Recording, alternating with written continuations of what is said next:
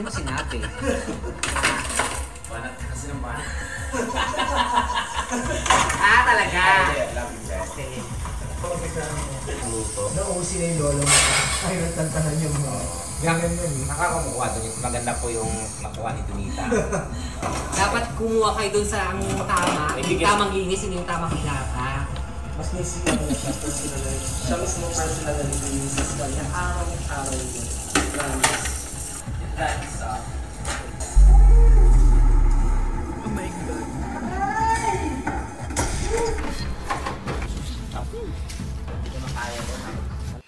Oh my God. Pati sa likod ng ano, ng ref. Sobrang dami ng, ng dumi. I cannot imagine. Sa liit ng bahay nila. Ano kayang ginagawa nila? Nag-jack and poy lang everyday?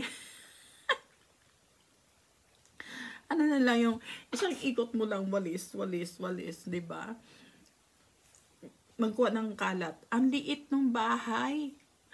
Hindi hindi ko maintindihan kung paano nila ginawa yung yung kalat na 'yan sa sobrang liit ng bahay. Parang um, taon taon na hindi nalinis yung bahay talaga. Sa sobrang liit ng bahay na ano kapag hindi nililinisan ganyan ang itsura. Kasi pag pagka ano pagka pagka um, naglilinis sila talaga hindi ganyan ang itsura ng bahay na yan. At saka yung yung mga ipis nagpifiesta na oh. Sa sobrang sa sobrang dami ng dumi yan ang gustong gusto ng mga ipis eh yung mga ano mga dumi oh my god I cannot imagine tapos may baby sila Ah, ganun talaga. Eh, may naakusan na sa akin na hindi nga kayo makapaglinis ng unit. Eh, move on. Ayaw nang gawa ng paraan. So, problema lang ako kasi nilipatan ko to dito, maayos lahat. So, hindi ako makakaalis dito hanggat hindi ko siya na ibabalik sa tamang kung anong tsura niya nung Pinuntahan mo siya. pinuntahan ko. Mabayaran mo yan. Mabayaran po na totoo yan totoo yan kawawa ka talaga tekla nakakaawa talaga si tekla totoo yan na kasi ganyan ang pagkapag mga sa mga nag ano nag nangungupahan lalo sa kondo kung ano yung pupuntahan mo kung ano yung lilipatan mo kung ano itsura ng bahay na lilipatan mo ganon din ang itsura ng bahay na aalisan mo kaya kung aalis man si Tekla sa bahay na yan, so hindi siya basta-basta makakaalis dyan hanggat hindi yan okay. Kaya, sa dami ng damage ng bahay, ang laki ng magagastos niya. Kaya, hindi lang hindi lang yung yung ah, kinakaharap ni, ni Tekla yung yung problema niya, naging yung problema niya, kundi pati yung bahay na iiwanan niya o na tinitirahan niya, problema niya pa rin. Kawawang tekla. Ang ano yun eh, pagka nag-resa, hindi nila alam kung ilang libong gagastasin ko doon. Diyos ko. Ate, paano ba ito sa bato? Baho, shit. Okay. Baho! Ay, go pala yan. Sorry, sorry. Sorry, sorry, sorry. Baho talaga, walang keme. Yan, tapos mo na yung mga keme yan. Yung mga Ako, wala lang. At may foil. At may foil teka. Eh, nag- ah, nag... Aw,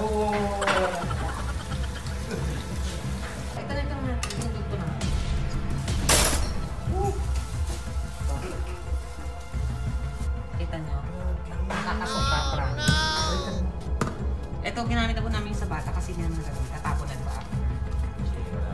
Wala naman na yung bata linis. silang magtira ng kanin. Oh, no! Naligpit ko na nga lang pa yun dito. Kung mayroon ng ginugutom, sa totoo lang. Yung totoong pamilya ko, kasi hindi ko na-supportaran sila. Yung totoong pamilya ko. Totoo yun, no? Kasi nakita ko yung ano ni ni Tekla, napanood ko yung um, sa magpakailanman na story ng buhay niya. Ang dami niyang kapatid na ano um, ah, na, na naiwan sa kanilang ano probinsya.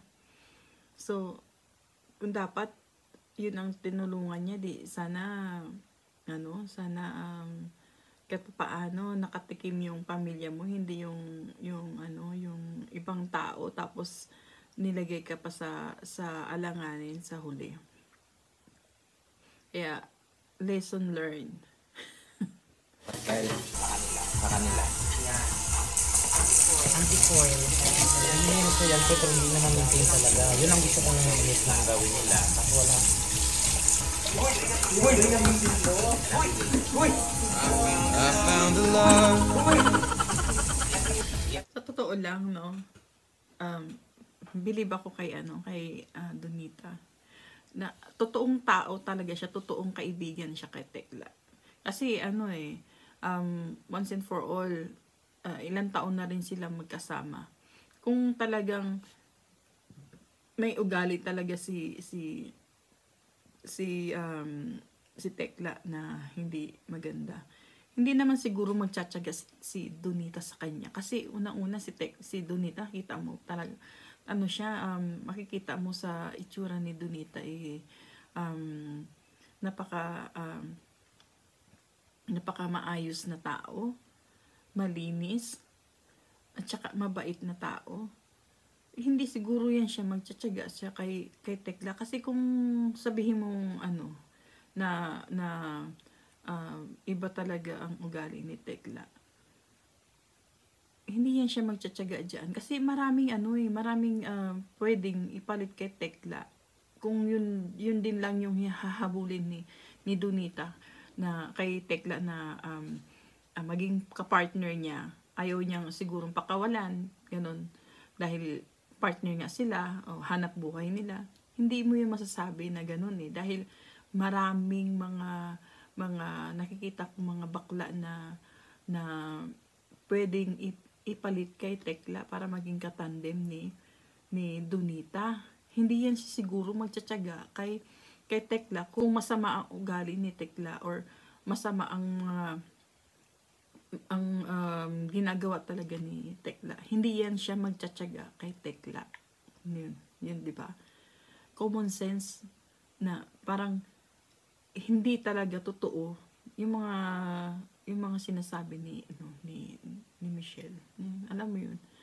Kaya saludo talaga ako kay Donita dahil bihira ang taong ganyan ang bihira sa kaibigan na makahanap ka ng ganyan na sasamahan ka sa hirap at ginhawa.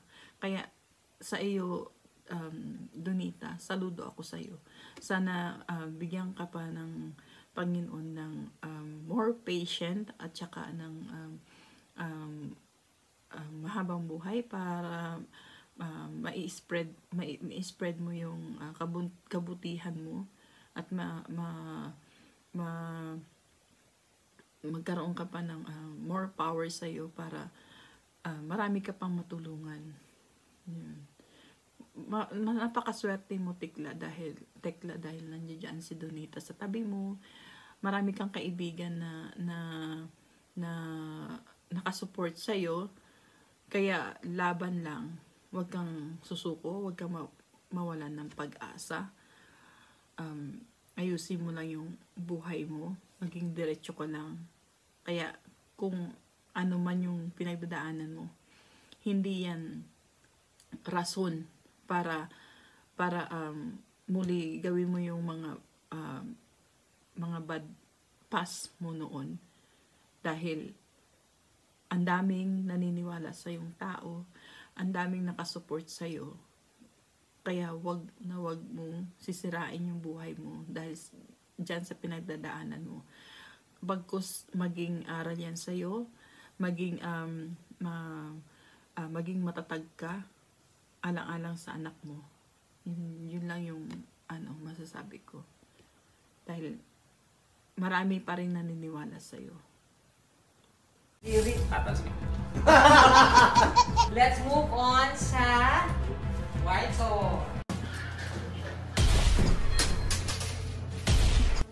binako. Haggard kung haggard, pero parang... Ah!